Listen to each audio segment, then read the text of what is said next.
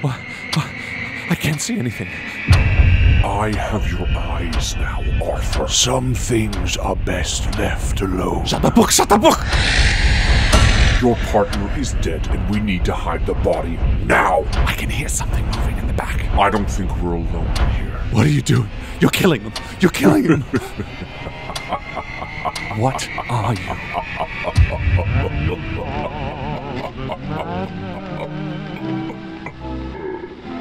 Ah, but I call